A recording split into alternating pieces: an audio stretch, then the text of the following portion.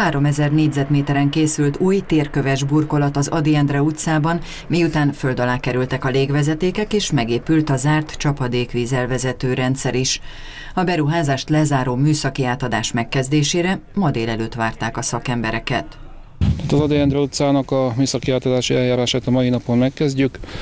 A kivitelező készbejelentette a munkát, az elkészült mű rendeltetésszerű és biztonságos használatra alkalmas, tehát ilyenkor már meg lehet kezdeni műszaki átadást.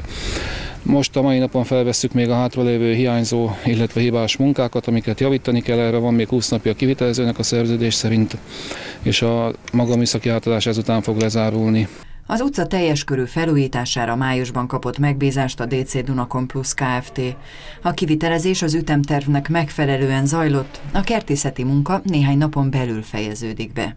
Az Adi Endre utcába 5000 darab évelő lesz ültetve, illetve 63 darab körisfa, illetve gyertyánfa lesz ültetve még. 50 ingatlan előtt készült új kapubejáró és megújult a közvilágítási rendszer is az Adiban.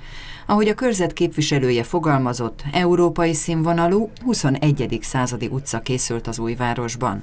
A templom előtti tér is megújul. Ahogy itt néztem már, ott sincs sok vissza a kivitelezésből, tehát hamarosan azt is befejezik. Ugye park lesz előtte, füvesített terület lesz, bok, gyönyörű növényzettel, új utcabútorokkal. Én azt gondolom, hogy nagyon szép, főleg innen az Adi Endre utcából, hogyha haladunk az új templom utca felé, hát egy nagyszerű látvány fogadja az itt lakókat, és azt gondolom, hogy az itt lakók is örömüket lelik majd az utca használatában. Az Adi utca előtti parkoló két autóbusz számára biztosít majd megállási lehetőséget, közforgalom számára nem lesz használható. November 15-éig ezt a területet is átadja majd a kivitelező.